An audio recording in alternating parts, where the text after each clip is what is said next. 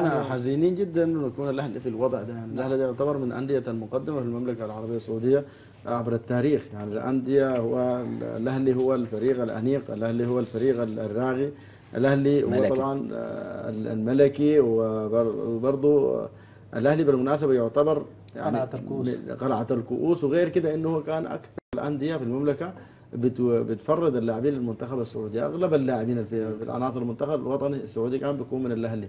فحتى لاحتكار الأطراف لزمن طويل جدا من عبد الجواد ولحسين عبد الغني لمحمد الشيليه من يعني دول كلهم كانوا أطراف ال- الأهلي لو يعني تاريخه آه، صراحة يعني ما بيشبه الوضع اللي هو فيه. ولكن آه، أنا برى إنه الأهلي أعد نفسه إعداد جيد جدا وإن كأنه هيفقد لاعب مهم جدا هو هيثم عسيري في نعم مباراة اليوم. لكن آه، فريق الرائد عنيد. نعم. عنيد. جدا. مباراة الغد انت قلت اليوم. نعم تفضل. مباراة الغد نعم. نعم. الرايد بس عنده شوية إصابات بالمناسبة. نعم لكن الرائد كم لاعب إصابات؟ أكثر فريق في المملكه بيلعب بصورة جماعية خطرة جدا بالذات الهجمات المرتدة. ولكن الأهلي فريق كبير فريق عريق يعني. أتمنى الناس موعوده صراحة. إحنا سعيدين جدا بإنه الدوري عاد في وقته لكن للأسف الشيء اللي إحنا حزنانين عليه إنه كل المباريات في توقيت واحد. واحد نعم.